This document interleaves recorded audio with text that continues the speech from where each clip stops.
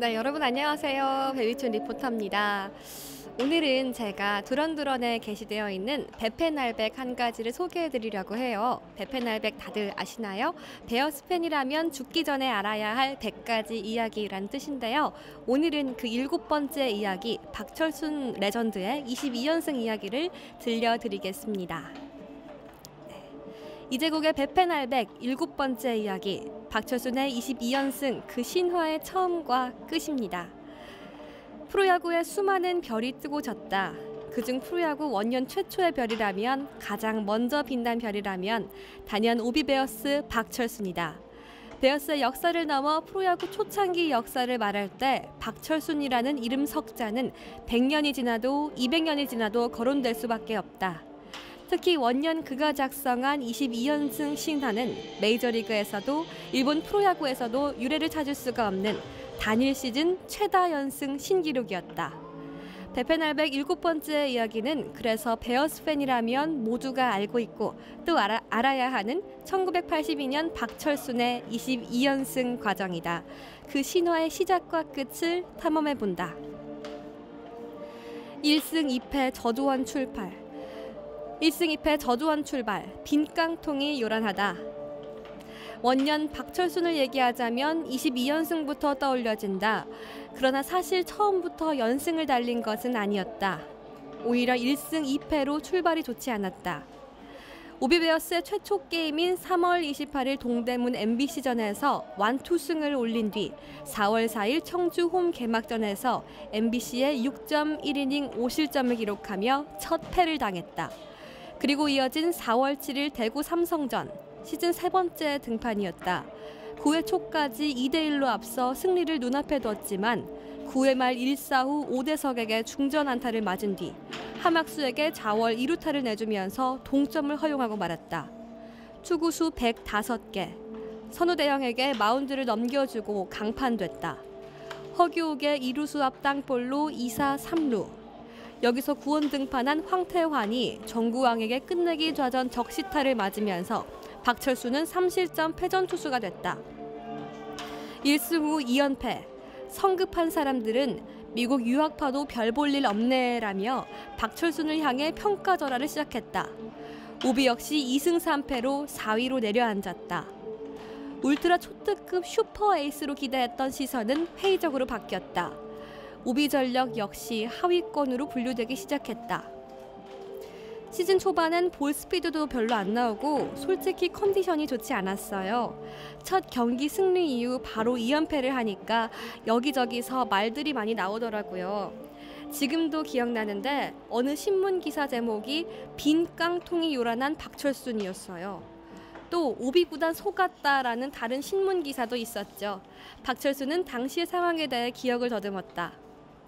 그러나 초대 사령탑을 맡은 김영덕 감독의 얘기는 달랐다.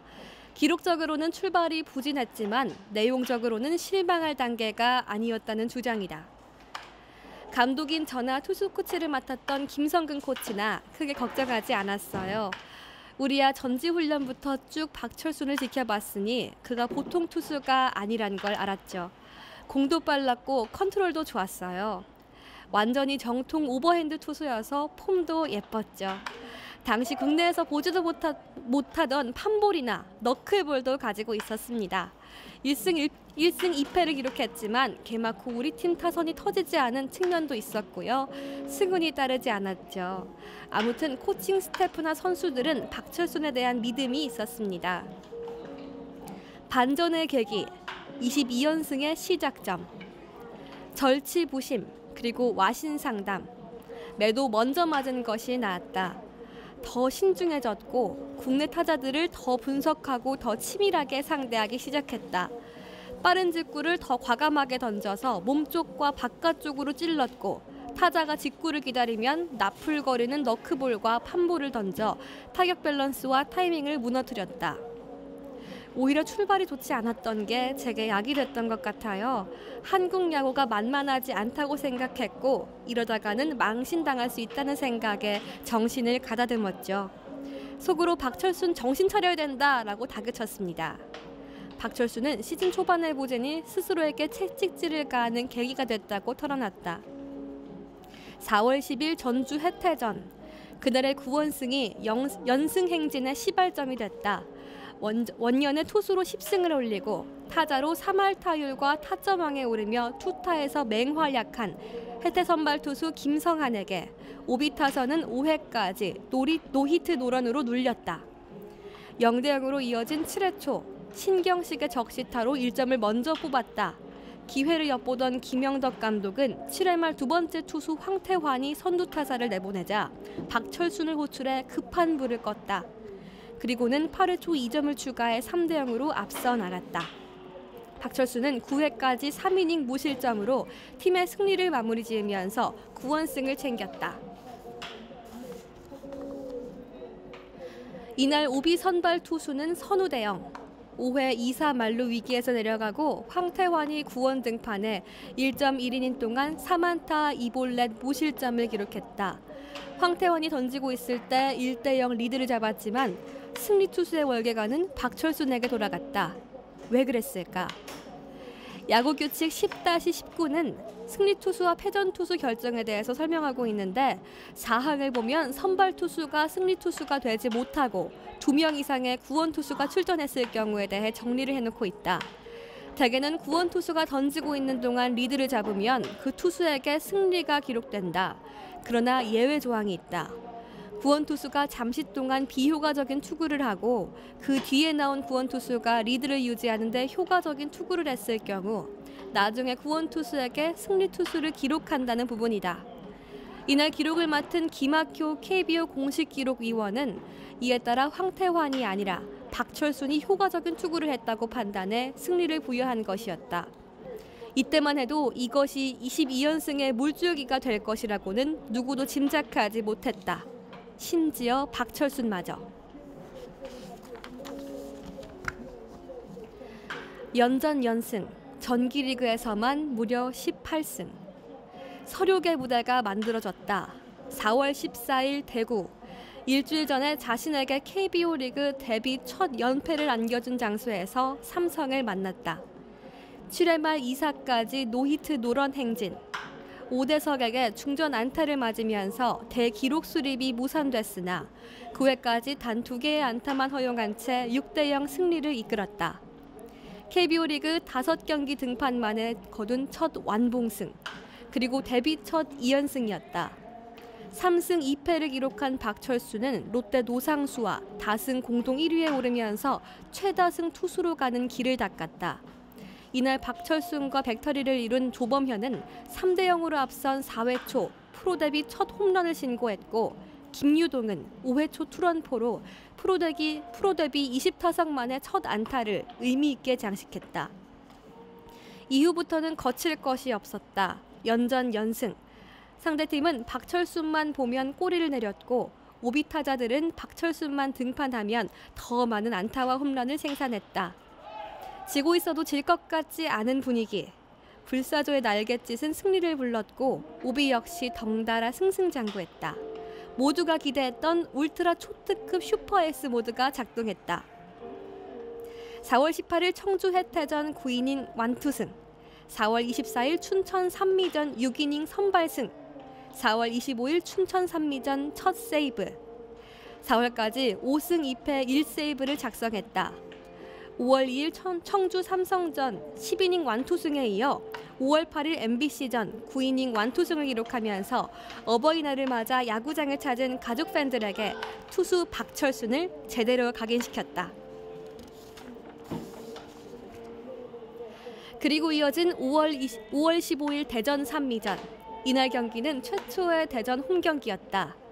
앞서 베페날백 6편에서 설명했듯이 원년 대전구장은 프로야구 출범을 앞두고 소년체전 관계로 구장 개보수를 하는 바람에 이날에서야 프로야구 첫 경기를 열 수 있었다. 오비 최초의 경기, 최초의 청주 홈경기처럼 역사적인 최초 대전 홈경기에서도 팬들 앞에 가장 먼저 인사를 해야 할 투수는 역시 에이스 박철순이었다. 4월 4일 청주 홈 개막전 패전 투수가 됐던 박철수는 이날 대전 홈 개막전에서는 선발 8이닝 무실점으로 9대1 승리를 따냈다. 시즌 7승째. 타선도 처음부터 폭발하면서 대전 팬들을 즐겁게 했다.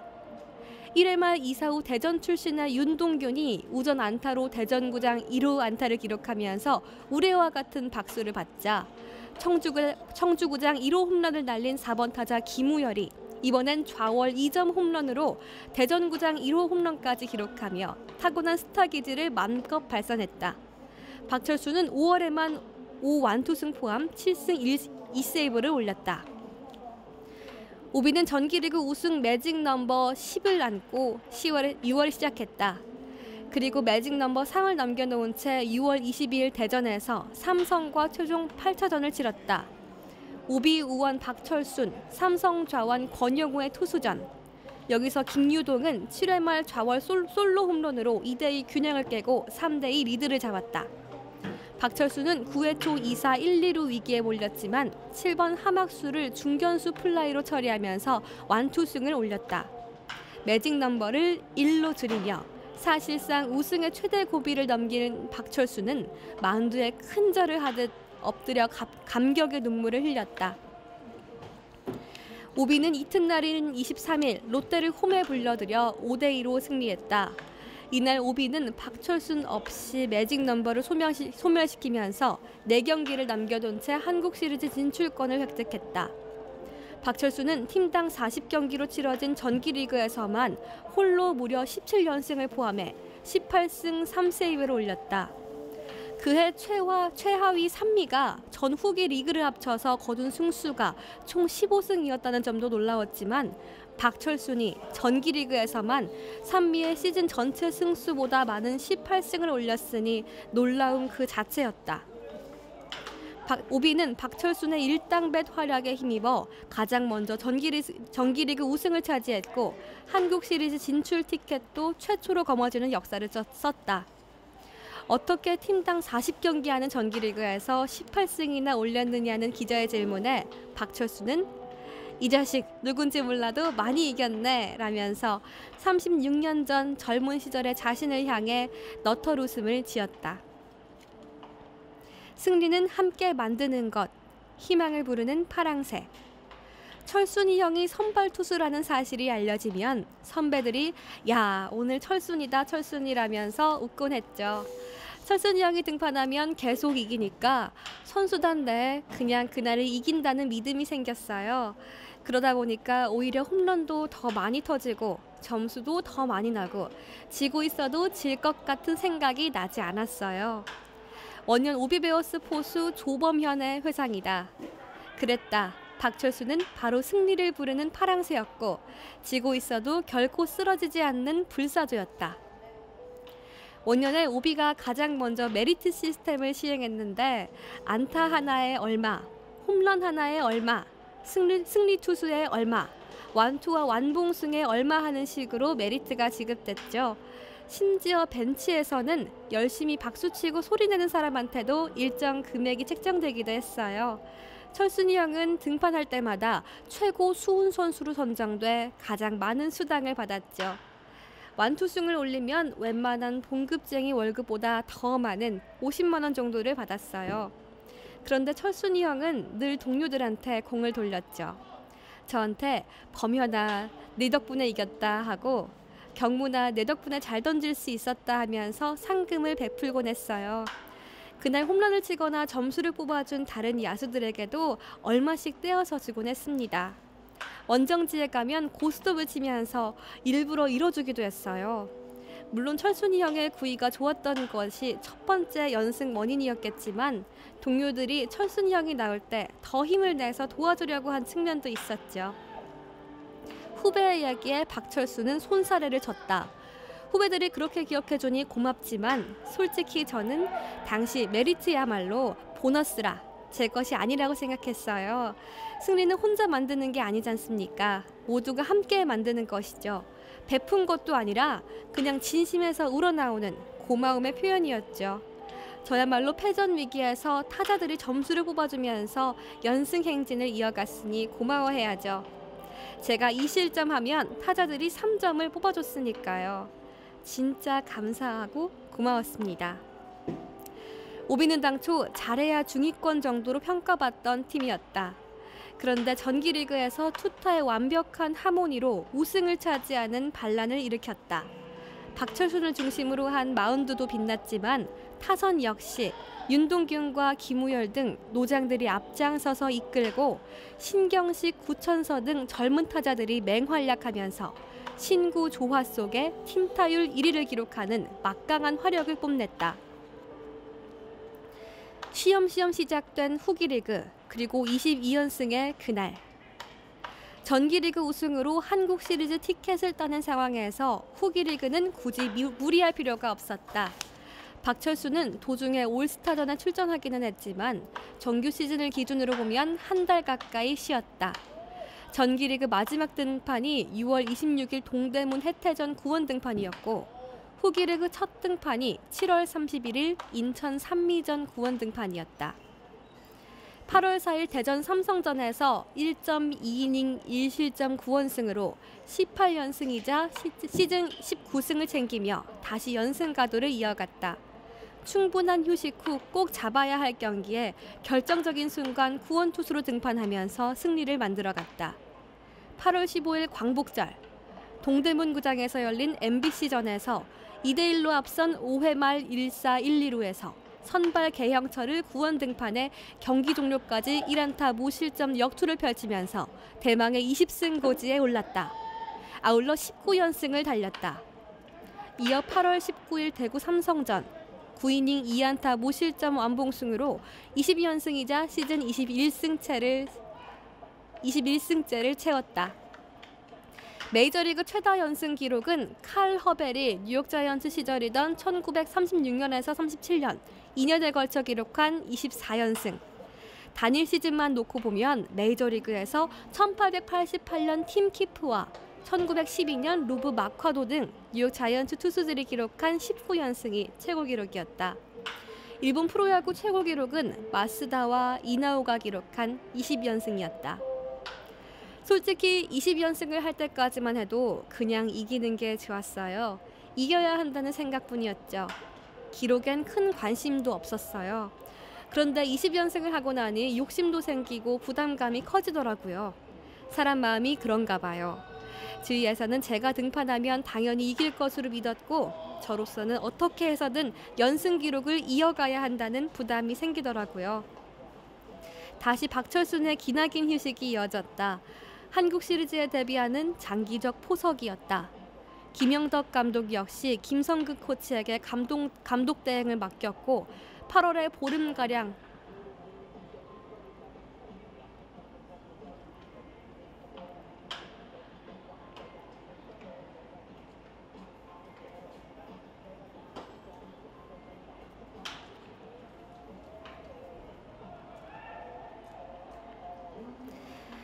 김영덕 감독 역시 김성근 코치에게 감독 대행을 맡겼고 8월에 보름가량 일본으로 연수를 떠났다. 지금으로선 시즌이 진행되고 있는 상황에서 사령탑이 해외 연수를 가는 것을 이해하기 어렵지만 당시엔 그랬다. 요즘 같으면 상상도 못할 일이죠. 그런데 전기리그에서 우승을 하고 나니 구단에서 기대 이상의 성과를 냈다고 포상 휴가처럼 저를 일본에 보내줬어요. 어차피 후기리그 우승팀과 한국 시리즈를 해야 하니 이 기회에 차라리 내년 시즌을 위해서 뭔가를 배워오는 게 낫다고 판단했던 거죠. 그만큼 후기리그는 여유롭게 대처를 했습니다. 박철순도 전기리그에서 고생했기 때문에 충전을 위해 쉬게 했던 거죠. 김영덕 감독의 설명이다. 박철수는 8월 19일 완투승 이후 9월 8일 대구 삼성전에서야 다음 등판을 이어갔다.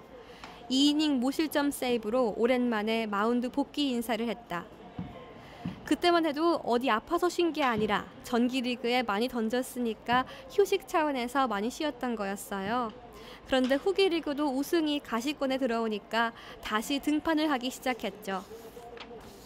선두, 선두 싸움을 하면서 후기 리그까지 우승해 한국 시리즈를 없애는 게 낫겠다는 생각을 하게 됐던 거죠. 박철순 얘기다. 9월 11일 대전 MBC전에서 11이닝 3실점 완투승을 올리며 22, 21연승을 기록했다. 이어 9월 18일 대전 롯데전에서 극적으로 22연승을 수립했다.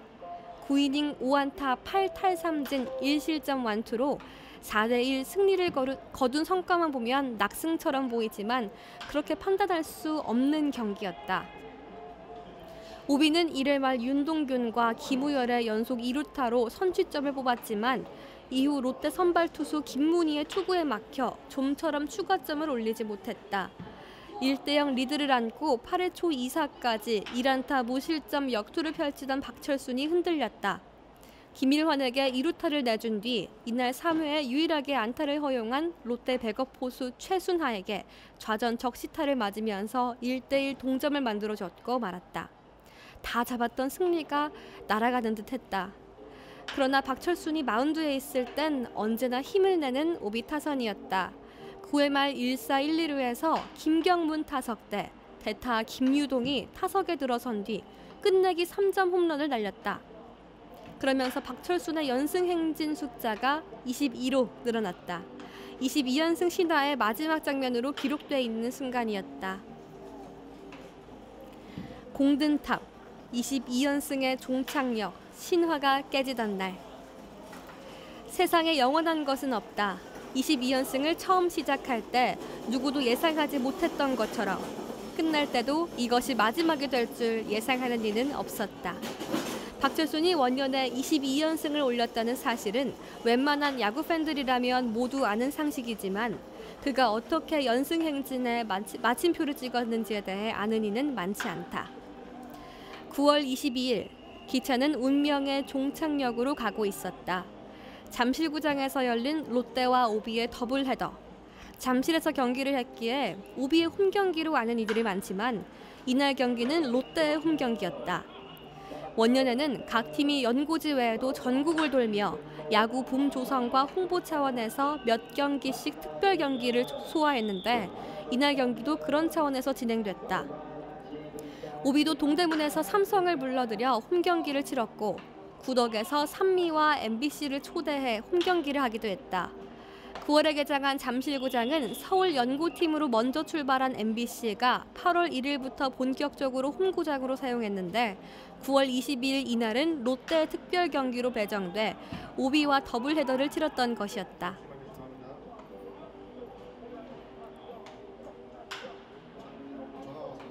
아, 아, 아 네네.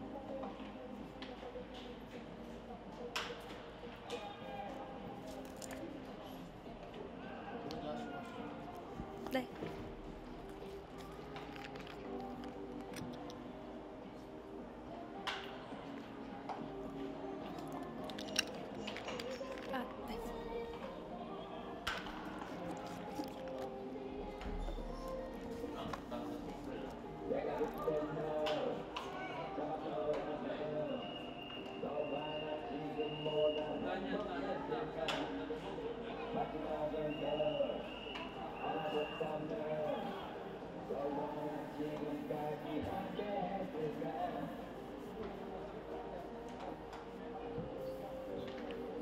네. 9월 22일 이날은 롯데 특별 경기로 배정돼 오비와 더블 헤더를 치렀던 것이었다. 박철순은 당초 더블 헤더 제2경기 선발 투수로 내정돼 있었다. 그런데 제1경기가 묘하게 흘렀다. 오비가 7회까지 0대 3으로 뒤지다 8회 초 밀어내기 볼넷으로 1점을 뽑은 뒤 9회 초 무사 1, 3루에서 조범현의 중전 적시타와 유지원의 투수업 기습 번트 안타로 3대 3 동점을 만들었다. 이날 경기 전까지 후기 리그 1위 삼성을 0.5게임 차로 추격하던 오비였기에 김영덕 감독은 고민을 하기 시작했다. 9회 말 롯데의 공격, 무사 1루에서 1사 1루 위기로 변한 상황. 투수 교체 박철순. 어차피 1차전에서 패하고 2차전에서 승리를 거두나 1차전에서 승리하고 2차전을 패하나 마찬가지였다. 운이 좋으면 1차전도 이기고 2차전까지 잡을 수도 있는 상황. 일단 1차전부터 잡고 가자는 계산이었다. 개형철과 황태환에 이어 박철순이 마운드를 이어받았다. 급박하게 등판한 박철수는 여기서 무실점으로 이닝을 마쳤고 연장 10회 초 오비 역시 득점을 올리지 못했다. 이어진 10회 말 선두 타자인 3번 박용성에게 좌전 안타를 맞은 뒤 부, 부산 동광초등학교 6학년 때 손을 잡고 함께 야구를 시작한 친구 김용희를 좌익수 플라이로 잡았지만 박용성이 태그업을 통해 2루까지 진출했다. 1사 2루. 타석에는 역시 초등학교 2년 후배인 5번 김용철이 들어와 있었다. 스트라이크. 파울. 파울. 볼. 파울. 볼 카운트 원볼 투 스트라이크의 유리한 상황에서 6구째를 던졌으나 타구는 3루수 옆을 지나 좌익수 앞으로 날아갔고 박용성이 전력 질주로 홈으로 내달려 롯데의 네 번째 득점을 올렸다. 끝내기 안타였다. 4월 10일 해태전에서부터 9월 18일 롯데전까지 진행된 22연승 기록에 마침표를 찍었고 전날까지 163일 동안 이어온 무패의 공든탑이 무너진 순간이었다. 김용철은 초등학교 2년 후배인데 제가 6학년 때 4학년으로 함께 야구를 시작했어요. 그런데 이 친구가 내 연승 깨놓고 지금까지 사과가 없네요. 아직도 생생해요. 몸쪽 꽉 찬 직구를 던져야겠다고 맘먹고 던졌는데 기다리고 있었는지 기막히게 쳤어요. 타구가 총알처럼 날아가는데 삼루수 양세종이 몸을 날렸지만 잡을 수 없었어요. 글러브를 끼고 있던 손이 갑자기 무겁게 느껴지면서 가슴 속에서 뭔가가 빠져나가는 듯한 기분이 들었다. 허탈했다. 이미 관중들의 환호성도 동료들의 얼굴도 눈에 들어오지 않았다. 하지만 그 허탈감은 오래가지 않았다. 까짓 거 다시 시작하면 되지. 1995년 편엔 박철순의 자전 에세이 혼을 던지는 남자에 나오는 대목이다. 이에 대해 물어봤더니 그는 당시 그런 느낌과 기분이 들었다면서 웃음을 터뜨렸다. 처음엔 허탈하고 아무 생각이 안 났는데 조금 지나니 허탈함과 후련함이 교차했어요. 오만 가지 생각이 다 나더라고요. 사실 언제까지 연승을 할 수는 없는 거잖아요.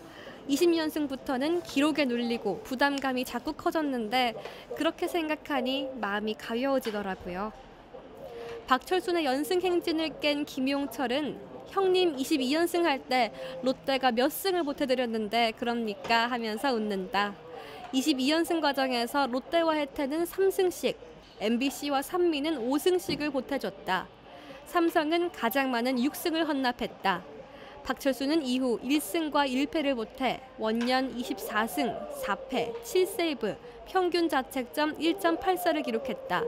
다승과 평균 자책점은 물론 승률 3관왕에 올랐다. 이제국의 베페날백 일곱 번째 이야기 박철순의 22연승 그 신화와 처음의 끝은 여기까지입니다.